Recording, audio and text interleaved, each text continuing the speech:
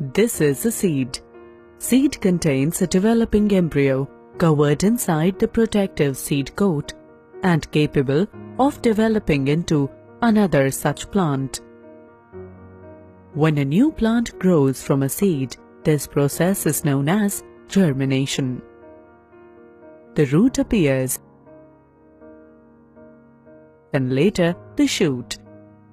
After the leaves appear the young plant can make its own food, the cotyledons fall off.